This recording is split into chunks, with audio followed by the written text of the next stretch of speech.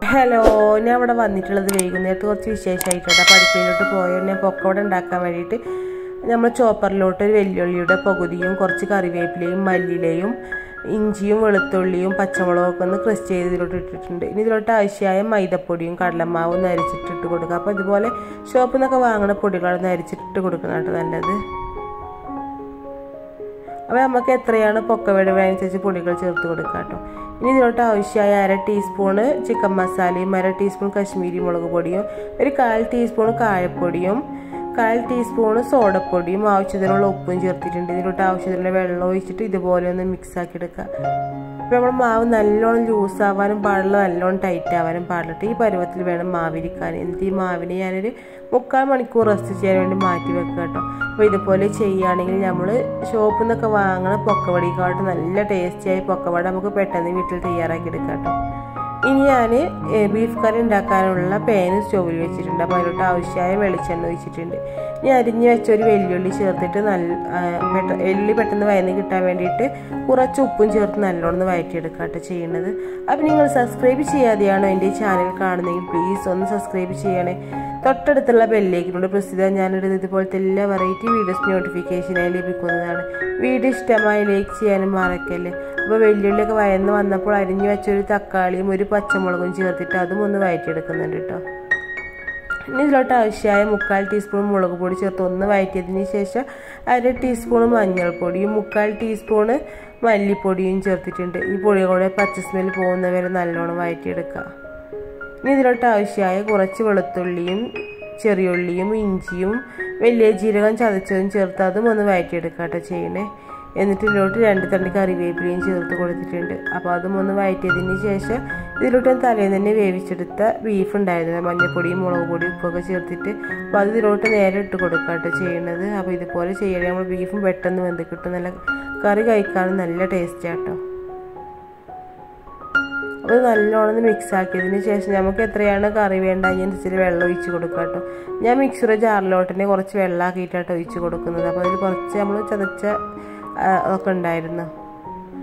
അപ്പോൾ ഒന്ന് മിക്സ് ആക്കിയതിന് ശേഷം നമുക്ക് അടച്ചു വെച്ചിട്ട് തീ ലോ ഫ്ലെയിമിലിട്ട് മൂന്ന് മിനിറ്റ് ഒക്കെ ഒന്ന് വേവിച്ചെടുക്കാം കേട്ടോ. കൂടുതലൊന്നും വേവിക്കേണ്ട ആവശ്യമില്ല. അപ്പോൾ ഈ ടൈമിൽ ഞാൻ ചോറിലെ വെള്ളം അടുപ്പത്ത് വെച്ചിട്ടുണ്ടായിരുന്നു. അപ്പോൾ അതൊക്കെ നല്ലോണം തിളച്ച് വന്നപ്പോൾ അതിക്ക് അരിയൊക്കെ ഒന്ന് കേക്ക് വൃത്തിയാക്കി ഇട്ട് കൊടുക്കുക കേട്ടോ ചെയ്യുന്നത് അപ്പം എന്തെങ്കിലും തട്ടിക്കൂട്ട് നോമ്പ് തുറയട്ടെ. അപ്പോൾ കുട്ടികളൊന്നും വിടില്ല അവരൊക്കെ തറവാട്ടേക്ക് നോമ്പ് തുറക്കാൻ പോയതാട്ടോ. അപ്പോൾ ഞാൻ ചോറുണ്ടാക്കാന്ന് കരുതിയിട്ട് ചോറും ചക്കക്കുരു കറിയും ബീഫ് വരട്ടിയതൊക്കെ ആയിട്ട് ഉണ്ടാക്കിയിട്ടുള്ളത്. ഒരു പപ്പടം പൊരിക്കുകയും ചെയ്തിട്ടുണ്ട്. അങ്ങനെ ചക്കക്കുരു ഞങ്ങൾ തൊലി കളഞ്ഞെടുത്തിട്ടുണ്ടായിരുന്നു. അപ്പോൾ അതൊരു കുക്കറിലോട്ടിട്ട് അതിലോട്ട് ഒരു തക്കാളിയും കുറച്ച് പച്ചമുളകും ചേർത്തിട്ടുണ്ട്. രണ്ട് പൊടികളായിട്ട് അര ടീസ്പൂൺ മഞ്ഞൾപ്പൊടിയും ആവശ്യത്തിനുള്ള ഉപ്പും ചേർത്തിട്ട് കുറച്ച് വെള്ളം ഒഴിച്ചിട്ട് തീ മീഡിയം ഫ്ലെയിമിലിട്ട് നാല് വിസിലാവുന്ന വരെ വേവിച്ചെടുക്കുകയാണ് ചെയ്യുന്നത് അപ്പോൾ ഈ ടൈമിൽ നമ്മളെ കയ്യിൽ മാങ്ങ ഉണ്ടെങ്കിൽ അതൊന്ന് ഇട്ട് കൊടുത്താൽ മതി കേട്ടോ നമ്മൾ തക്കാളി ചേർക്കേണ്ട ആവശ്യമൊന്നുമില്ല. അങ്ങനെ നോക്കിയപ്പോൾ നമ്മളെ ബീഫ് കറി കൂടെ നല്ലോണം കുറുകി വെന്ത് വന്നിട്ടുണ്ട്. അപ്പോൾ അതിലോട്ട് കുറച്ച് മല്ലിയിലയും ചേർത്തിട്ട് ഒന്ന് മിക്സ് ആക്കിയതിന് ശേഷം ഞാൻ പിന്നെ സ്റ്റോവിൽ നിന്ന് വാങ്ങി വെക്കുകട്ടോ ചെയ്യേണ്ടത് പിന്നെ ഈ സ്റ്റോവിൽ തന്നെ നമ്മൾ ചക്കക്കുരു ഒന്ന് വേവിക്കാനും വെക്കുന്നുണ്ട്. അപ്പോൾ ഈ ടൈമിൽ നല്ല ഇടിയും മഴയും വരുന്നൊക്കെ പോരുന്നുണ്ട് അപ്പോൾ ഞാനും കിച്ചും പെട്ടെന്ന് തന്നെ പുറത്ത് പോയിട്ട് പിന്നെ തേങ്ങയൊക്കെ എടുത്ത് വെക്കുക കേട്ടോ ചെയ്യണം. അപ്പോൾ അവൻ എടുത്ത് വെച്ചൊന്നും ശരിയാണല്ലോ അപ്പോൾ ഞാൻ തന്നെ പെട്ടെന്ന് എടുത്ത് വെച്ചു കേട്ടോ. അപ്പോൾ ചില ടൈമിലൊക്കെ മഴ വരുന്നല്ലാതെ മഴ പെയ്യാറൊന്നുമില്ല ഇടിയൊക്കെ പൊട്ടികൾ പോവാറാണ്. പിന്നെ ഞാൻ മഴ പെയ്യുമെന്ന് അറിയില്ല. നമ്മളിവിടെ നല്ല വെയിലായതുകൊണ്ട് നമ്മൾ തൈകൾക്കൊക്കെ ലേശം വെള്ളം ഒഴിച്ചു കൊടുക്കുന്നുണ്ട് കേട്ടോ.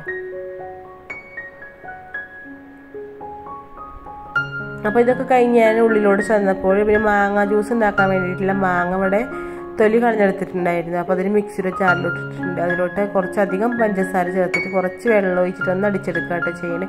എന്നിട്ട് കുറച്ചുകൂടെ വെള്ളം ഒഴിച്ചൊന്ന് അടിച്ചതിന് ശേഷം ഞാൻ പെട്ടെന്ന് തന്നെ അരിപ്പയിലൂടെ അരിച്ചെടുക്കാട്ടോ ചെയ്യണേ. അപ്പോൾ കുറച്ച് കൂടുതലായിട്ടും ജ്യൂസ് തന്നെ ഉണ്ടാക്കിയെടുക്കുന്നുണ്ട്. എന്നാൽ നോമ്പ് കറന്നു കഴിഞ്ഞാൽ നമുക്കിതുപോലെ കുടിക്കാമല്ലോ അപ്പോൾ ഞാൻ ചോറ് വെന്തിട്ടുണ്ട്. അപ്പോൾ അതൊന്ന് പെട്ടെന്ന് തന്നെ ഊറ്റിയെടുക്കാമെന്ന് കരുതി. അപ്പോൾ ഇതുപോലെ കടിയൊന്നും ഉണ്ടാക്കാത്ത നമ്മളെ പണികൾ പെട്ടെന്ന് തന്നെ കഴിഞ്ഞ് കിട്ടും കേട്ടോ കടിയൊക്കെ ആകുമ്പോൾ പിന്നെ ഞാൻ കഴിക്കൂല. വെറുതെ കൂടുതലായിട്ട് ഉണ്ടാക്കിയെടുക്കാറാണ്. പിന്നെ തറവാട്ടിൽ നിന്ന് അവർ വന്നപ്പോൾ പത്തിരിയും ബീഫ് കറിയും പൊറാട്ടയൊക്കെ കൊടുത്തിട്ടുണ്ടായിരുന്നു കേട്ടോ അങ്ങനെ നമ്മൾ ചക്കക്കുരു കറിയൊക്കെ കൂടെ നല്ലോണം വെന്ത് വന്നപ്പോൾ അതിലോട്ട് കുറച്ച് പുളിവെള്ളം ഒഴിച്ചിട്ടൊന്ന് തിളപ്പിച്ചെടുക്കുന്നുണ്ട്. നമുക്കത് കുത്തിയടച്ചതിന് ശേഷം കടുക് ഇറക്കാം അപ്പോൾ അതിനുള്ള പേന സ്റ്റോവിൽ വെച്ചിട്ട് അതിലോട്ട് കുറച്ച് വെളിച്ചെണ്ണ ഒഴിച്ച് കൊടുക്കുകയാണ് ചെയ്തിട്ടുള്ളത്. ഇനി ഇതിലോട്ട് അര ടീസ്പൂൺ കടുക് ചേർത്ത് പൊട്ടിച്ചതിന് ശേഷം രണ്ട് തട്ടി കറിവേപ്പിലയും ചേർത്തിട്ടുണ്ട്. ഇതിലോട്ട് നമ്മൾ ചക്കക്കുരു കറി ഒഴിച്ച് കൊടുക്കാട്ടെ ചെയ്യണത്. അപ്പോൾ നമ്മൾ നല്ല ടേസ്റ്റി ആയ കറി റെഡി ആയിട്ടുണ്ട്. അപ്പോൾ ഇത് കൂട്ടിയിട്ട് നമുക്ക് ചോറ് കഴിക്കാൻ നല്ല ടേസ്റ്റ് ആട്ടോ. അപ്പോൾ നമ്മൾ ഇതുപോലെ ഉണ്ടാക്കണില്ലെങ്കിൽ ഒരു പ്രാവശ്യം ഇതുപോലെ ഒന്ന് ട്രൈ ചെയ്ത് നോക്കുന്നുണ്ട്. അങ്ങനെ പുറത്തോട്ട് പോയപ്പോൾ പുറത്ത് നല്ല ഇടിയും മഴയൊക്കെ ഉണ്ടായിരുന്നു കേട്ടോ അപ്പോൾ അതൊന്ന് വെറുതെ വീഡിയോയിൽ എടുത്തതാണ്. ഒരു അഞ്ചേ മുക്കാലൊക്കെ ആയപ്പോൾ ഞാൻ വീണ്ടും അടുക്കളയിലോട്ട് വന്നിട്ട് നമ്മൾ പൊക്കവട ഉണ്ടാക്കാനുള്ള പേന സ്റ്റോവിൽ ചെറുട്ട് ആവശ്യമായ ഓയിൽ ഒഴിച്ച് കൊടുത്തിട്ടുണ്ട്. എന്നിട്ട് നമ്മൾ ഓരോ സ്പൂൺ എടുത്തിട്ട് നമ്മൾ ഇതിലോട്ട് ഇങ്ങനെ ഒഴിച്ച് കൊടുക്കട്ടെ ചെയ്യണേ. അപ്പോൾ പെട്ടെന്ന് തന്നെ പൊങ്ങി വരുന്നുണ്ട് കേട്ടോ. അപ്പോൾ ഒരു സൈഡൊക്കെ നല്ലോണം വന്ന് വന്നപ്പോൾ മറിച്ചിട്ട് കൊടുക്കട്ടെ ചെയ്യണം. അപ്പോൾ ഇതുപോലെ ഒന്ന് ട്രൈ ചെയ്ത് നോക്കൊണ്ട് നമ്മൾ തട്ടുകടയിൽ നിന്ന് നമുക്ക് കഴിക്കണ പൊക്കവട ഉണ്ടല്ലോ അതേപോലത്തെ പൊക്കവട നമുക്ക് പെട്ടെന്ന് വീട്ടിൽ തയ്യാറാക്കാം കേട്ടോ. അപ്പോൾ നമ്മൾ ഫസ്റ്റ് ഇട്ട പൊക്കവട റെഡി ആയിട്ടുണ്ട്. അപ്പോൾ അതൊന്ന് ഞാൻ പേനിൽ നിന്ന് മാറ്റുന്നുണ്ട്. അപ്പോൾ അടുത്തതും പേനിലോട്ടിട്ടുണ്ട് അങ്ങനെ പൊക്കവട ചുടലൊക്കെ കഴിഞ്ഞിട്ടുണ്ട്. അപ്പോൾ നമ്മളെ പണികളോട് ഒരുങ്ങിയിട്ടുണ്ട് അപ്പോൾ ഞാനും കിച്ചുമ്പാടെ എന്താ പുറത്ത് പോയി വേണ്ടിയിരുന്നു കേട്ടോ. അവന് തറവാട്ടിക്ക് പോകാൻ മഴ ആയതുകൊണ്ട് വെയിറ്റ് ചെയ്തിരിക്കുകയാണ് കേട്ടോ അവന്. അങ്ങനെ മഴ ചോദിച്ച ശേഷം അവനങ്ങനെ പോയി. എത്ര കൊള്ളട്ടെ നമ്മളെ കുഞ്ഞു വീഡിയോ എനിക്ക് വീഡിയോ ഇഷ്ടമായെന്ന് വിചാരിക്കുന്നു. വീട് ഇഷ്ടമായി ലൈക്ക് ചെയ്യാനും ഷെയർ ചെയ്യാനും സബ്സ്ക്രൈബ് ചെയ്യാനും മറക്കല്ലേ. നിങ്ങളുടെ അഭിപ്രായങ്ങളെല്ലാം കമന്റിൽ എഴുതി അറിയിക്കാനും മറക്കല്ലേ. അപ്പോൾ ഇനിയും ഇതുപോലത്തെ വെറൈറ്റി വീഡിയോയുമായി വരുന്നതാണ്.